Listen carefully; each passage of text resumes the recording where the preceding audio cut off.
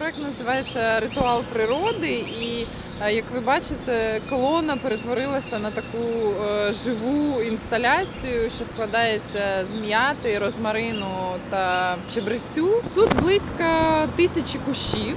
Це інсталяція мексиканської мисткині Ізи Каріліо. На жаль, вона сьогодні не змогла приїхати. Ми маємо надію, що це станеться на закриття проекту 17 травня. І вона пропонує ось таким чином очистити це місце, яке, звісно, має е, таке важке політичне і навантаження, і ідеологічне. Это марокканская, цитрусовая и шоколадная. С помощью ее, с помощью его запаха, ее аромата э, устанавливаются отношения между людьми. То есть это символ дружбы, гостеприимства. Мне просто позвонили, сказали, надо травы.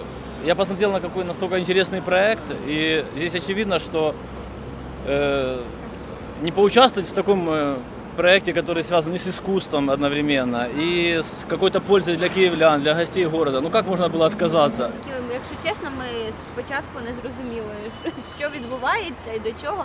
Ну, я зрозуміла, що там о- обсадили зеленню, да? чи як правильно сказати. Мені здається, що після Леніна туди будь-що не поставиш, і буде добре. Сподобалось.